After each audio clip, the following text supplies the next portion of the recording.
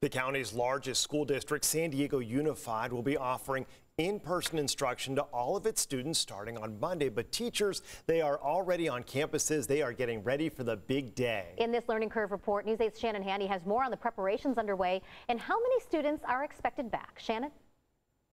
Stephen Marcella, it's been 13 months since most students have been inside a classroom. One teacher I spoke with admits she's nervous, but ready to see her kids face to face.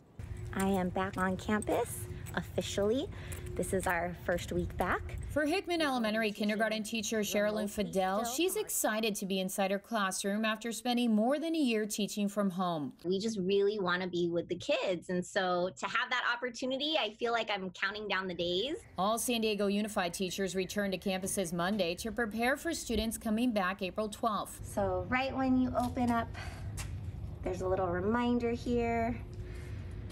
And Here's my room. Inside Sherilyn's room, you'll notice 19 desks spread apart, as well as a big monitor to accommodate the six students who chose to continue with virtual learning. We actually have to um, teach our kids online and in person at the same time for part of the day. District wide, of the 64% of families who filled out a recent survey, 73% said they wanted to return to in person learning, while 27% prefer online only. Based on how many kids will be returning to each school, some will have the opportunity to be on campus four days a week. For others, it could be less. The whole question is how much uh, space is there in our classrooms?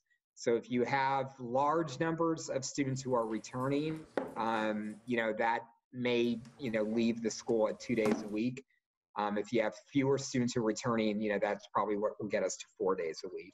Board President Richard Barrera says based on survey results, schools in areas where the virus has spread more rapidly will see fewer students coming back. In terms of safety measures, the district is providing free voluntary COVID tests on each campus. That's in addition to the millions of dollars spent on things like PPE and air filtration system upgrades. If parents, you know, are wondering if it's going to be safe to come back, the answer is yes. Back at Hickman Elementary, Sherilyn Fidel says staff has been meeting daily to go over all the new protocols. While safety is a priority, for her, so is ensuring every student, whether they return or not, feels welcome. One of our biggest things at our school is making sure that the families that choose to stay online still feel a part of the class. Starting today, parents should be getting information from their child's school about things like pickup and drop off protocols, as well as how many days of in person learning are available.